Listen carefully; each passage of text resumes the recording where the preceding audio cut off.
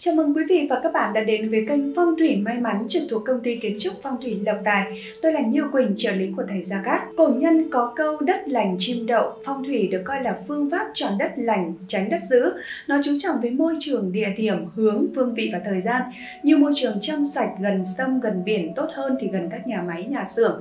Mà môi trường bị ô nhiễm, địa điểm cũng vậy, nhà ở cũng thế. Theo thuyết vạn vật tương tác, mọi vật đều có tác động hỗ trợ nên khoa phong thủy cho rằng tiên thiên và hậu thiên hình đều có tác động gây ảnh hưởng đến dương trạch. Như quý vị đã biết khi xây dựng mới một căn nhà hoặc tiến hành chọn mua một căn nhà chúng ta sẽ cần chú ý nhiều tới phần khu vực xung quanh, quang cảnh của căn nhà mình. Các phong thủy sư hay là các chuyên gia phong thủy sẽ cần tìm hiểu phân tích hình thế của con sông, dãy núi, con đường, kiến trúc về địa hình thế đất xung quanh đó để biết được sự tác động tốt xấu của nó tới căn nhà đang chuẩn bị xây dựng hoặc căn nhà bạn đang sinh sống. Việc khảo sát như vậy là cần thiết đối với tất cả mọi trạch đất cũng như là để các phong thủy sư thu thập tư liệu trước khi đưa ra những lời tư vấn hỗ trợ hợp lý cho gia chủ. Đối với những trường phái khác nhau sẽ có những cách phân tích khác nhau, nhưng vô hình chung cần tuân theo những quy chuẩn chung trong phong thủy gọi là các thế sát loan đầu. Ngoài các nguyên tắc chung về hình thế loan đầu thì sẽ còn một phần khác cần xét tới khi các phong thủy sư phân tích các cổ căn nhà của bạn, đó là phần lý khí. Khí trong phong thủy là cốt lõi nguyên lý và hoạt động của vạn vật, bởi khí là nguyên bản của vạn vật thông thường chỉ là một loại vật chất vô cùng nhỏ bé, là nguồn gốc cấu thành vạn vật trên thế giới.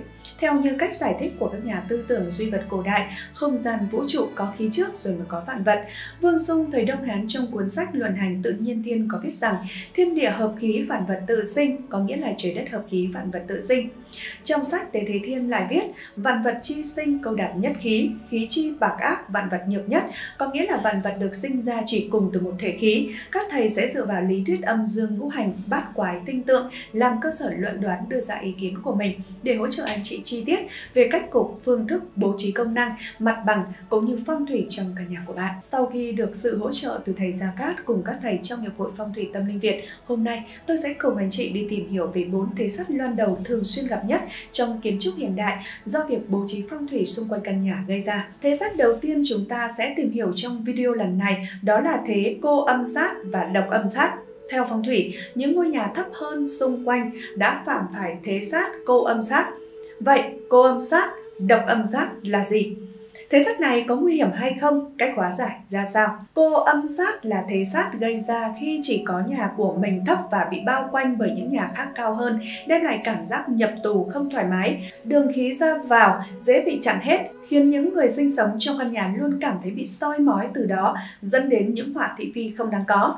Còn độc âm sát là loại hình sát khí khi ở nhà thấp hơn mặt đường, có thể do bản thân địa hình dương trạch có liên quan đến lúc xây dựng địa thế mà đã tạo thành thấp hơn mặt đường do nguyên nhân khách quan, đường cái thường xuyên tu bổ, phủ lớp nhựa đường, mỗi lần lại đệm cao lên, tạo thành thế căn nhà của mình thấp hơn đường lớn.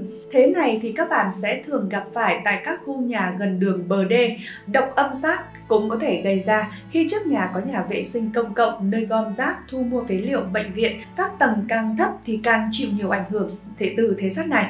Một kiểu độc âm sát nữa gây ra là khi nhà vệ sinh đặt ngay cửa nhà anh chị. Trường hợp này sẽ thường gặp tại các căn nhà chung cư do phải tiết kiệm chi diện tích cho việc bố trí mặt bằng. Các tạp khí, uế khí từ nhà vệ sinh sẽ theo đường nạp khí từ cửa chính tản mát ra toàn bộ căn nhà, ảnh hưởng đến toàn bộ ngôi nhà. Những ngôi nhà phạm phải thế sát, cô âm sát và độc cô sát thường khiến cho căn nhà gặp phải nhiều âm khí luôn luôn u ám, khiến cho chủ vận suy kém, khó nổi danh, sự nghiệp thì không thuận lợi, không có sức sống, làm ăn thất bại, quan hệ với làng xóm thường không tốt hay xảy ra xích mích và cãi vã. Thế sát, độc âm sát gây bất lợi với nam chủ và âm khí quá nặng gây ra bệnh tật ảnh hưởng đến sức khỏe của tất cả các thành viên trong gia đình. Khi mà nhà thấp hơn mặt đường và hệ thống thoát nước không đồng bộ, nước bên ngoài dễ chảy vào trong tạo thành thủy hại.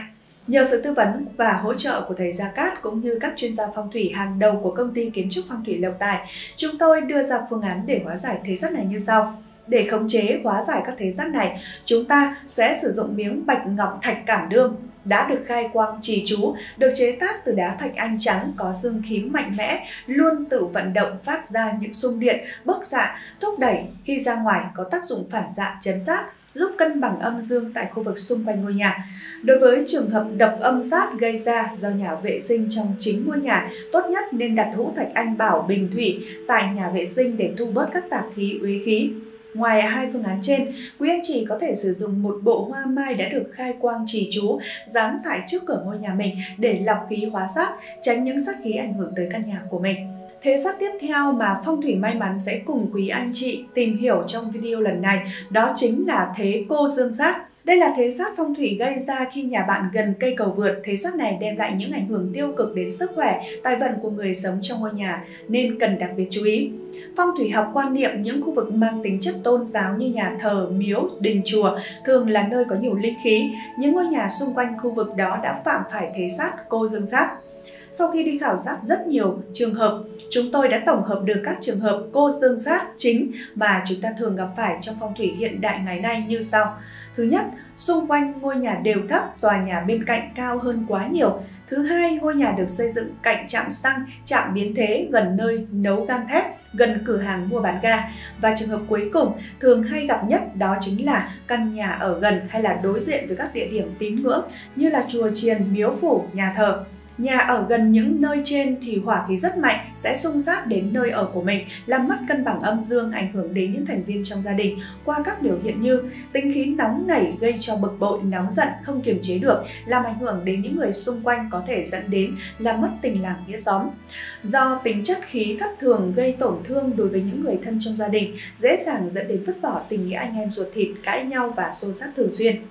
Khi nhà ở phạm vào thế cô dương sát, vượng khí của ngôi nhà sẽ bị cuốn hết đi nếu không kịp thời hóa giải để lâu ngày dẫn đến tình trạng thần kinh bị tổn thương khó bề điều trị. Nhờ sự tư vấn và hỗ trợ của thầy Gia Cát cũng như là các chuyên gia phong thủy hàng đầu của công ty kiến trúc phong thủy Lộc Tài, chúng tôi đưa ra phương án để hóa giải thế rất này như sau. Thứ nhất, đối với những căn nhà gần khu vực đình đền miếu phủ, chúng ta treo gương bắt quái gỗ đào cầu lồi tiên thiên quay mặt về phía bị cô dương sát Đối với ngôi nhà cao trội lên thì chúng ta sẽ sử dụng thái sơn thạch cảm đương để chế sát chấn tả. Thế sát tiếp theo mà phong thủy may mắn sẽ cùng các quý vị anh chị tìm hiểu trong video lần này đó chính là thế diệu sát. Đây là một loại sát gây ra do ánh sáng từ đèn trường gây ra, ảnh hưởng tới các thành viên trong gia đình, đặc biệt ảnh hưởng vào buổi tối. Tưởng chừng thứ ánh sáng đó vô hại nhưng thực tế lại đem lại những sát khí không tốt cho chính ngôi nhà của bạn. Diệu sát là thế sát thường được gây ra bởi các ánh sáng từ đèn đường, các cột điện cao áp xung quanh nhà hoặc là do bị ảnh hưởng từ đèn đường của các phương tiện giao thông.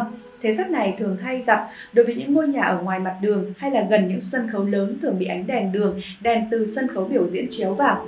Xung quanh nhà bạn có xưởng hàn hoặc là đơn vị thi công sẽ thường xuyên sử dụng que hàn gây ra các hiệu ứng ánh sáng lập lòe. Tất cả những trường hợp trên nếu gây ra thế sát diệu sát trong ngôi nhà Ánh sáng chiếu vào nhà nhiều quá gây ra tình trạng thừa sáng, dương khí trong nhà sẽ quá dư thừa. Những người sống trong ngôi nhà đó thường cảm thấy nôn nao, mất ngủ về tối, ban ngày thì sẽ thường bất an, gặp những tai nạn không đáng có. Thử tưởng tượng, nhà bạn ngoài mặt đường đối diện là cột đèn dọi thẳng ánh sáng vào trong nhà, lúc nào ngôi nhà cũng sáng, ban ngày cũng như ban đêm, gây nên tình trạng mất cân bằng âm dương. Sát dưới góc nhìn phong thủy thế sát này gây ra các sát khí ảnh hưởng trực tiếp đến những người sinh sống trong căn nhà, thường hay mắc các bệnh liên quan đến thần kinh, tài vận, cũng từ đó mà kém đi. Vào những năm xấu như là gặp phải thái tuế, ngũ hoàng, nhị hắc đáo đến trước cửa nhà, thế sát này càng trở nên hung họa, tác động cũng lớn, cần phải chú ý.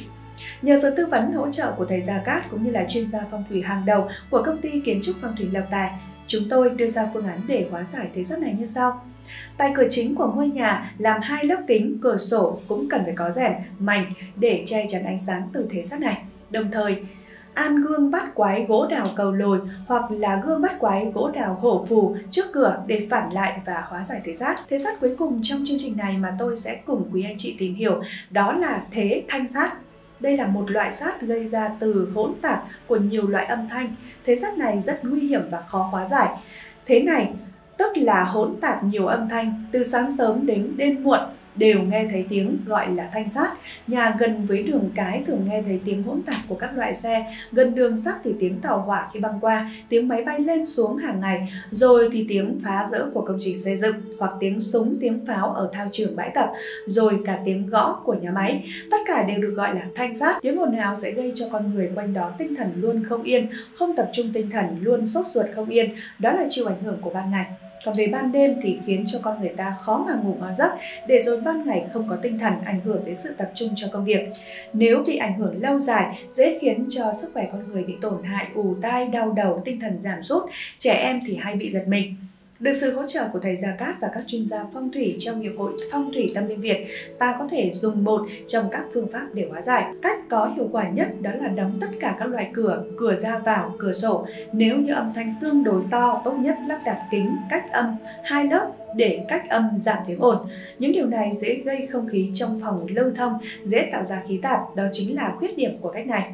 Nếu như không thể chịu nổi sự dày vò của thanh giác, tốt nhất hãy chọn cách chuyển nhà đến chỗ tốt hơn. Vừa rồi thì Phong Thủy may mắn đã chia sẻ với anh chị về bốn thế giác nguy hiểm mà chúng ta sẽ thường thấy nhất liên quan tới các vấn đề tưởng chừng như là đơn giản nhưng luôn hiện hữu quanh ta, đó là thanh khí, ở trong những video tiếp theo, đội ngũ biên tập của chúng tôi sẽ tiếp tục tập hợp những thế xác phổ biến và có ảnh hưởng nhiều tới đời sống để đưa tới thông tin đầy đủ hơn cho quý vị.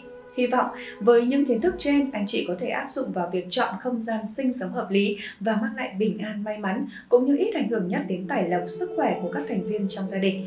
Quý anh chị đừng ngần ngại bày tỏ cảm xúc thắc mắc của mình ở phần dưới ô bình luận để được sự hỗ trợ tư vấn từ thầy Gia Cát cùng đội ngũ tư vấn hỗ trợ của thầy. Sự góp ý chân thành của anh chị sẽ giúp chương trình ngày càng hoàn thiện hơn. Đừng quên đăng ký kênh để cập nhật những kiến thức mới nhất về phong thủy tử vi và ứng dụng phong thủy vào cuộc sống hàng ngày. Cảm ơn quý anh chị đã quan tâm theo dõi ủng hộ chương trình trong suốt thời gian qua. Chúc quý vị luôn may mắn trong cuộc sống.